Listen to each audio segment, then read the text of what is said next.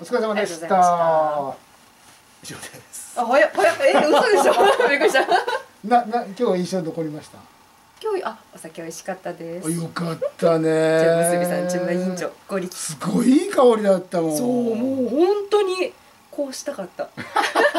こうしたかった。いや本当にな。ねフルーフルーティーなんですけどやっぱお米の香りもしっかり立つし。であと酒アイス。あー食べてみたい。酒アイス。ねアルコール分4%でした。ああれ4%食べたいな。あと酒米のおむすび。はいはい。あれも食べてみたい。酒米ってうるち米じゃないよ。うるち米なのかな？どうなんだろう。酒米とは言うけうどね。ん。うるちと餅があるでしょ？うるちはまあ普通にのご飯だね。それと酒米。酒米とままあ食べてみてください。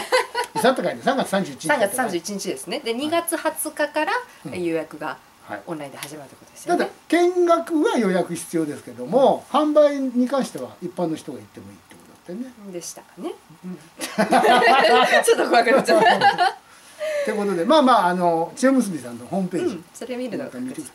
なんかさ酒アイス食べた人ちょっと感想聞かせてよ。めっちゃ気になります。うん。へえ酒アイスだ食べに行きたいいけいけいなね行きたいね。けいけ酒米3月酒米握りも。ね3月31日の勤務か年度終わりか。